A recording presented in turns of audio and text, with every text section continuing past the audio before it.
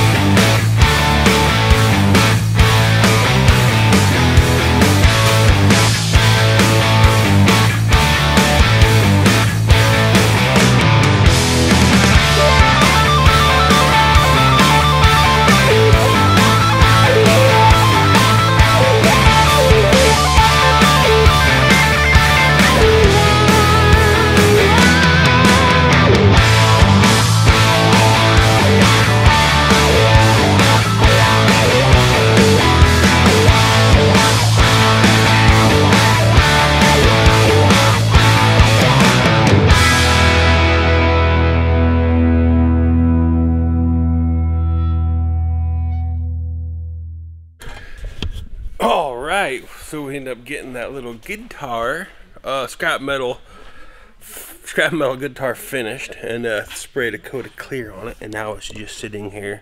Um, I got a couple lights out, you know, to make it look a little bit better. But that's kind of what we got here so far. Pretty cool on how it turned out, I think.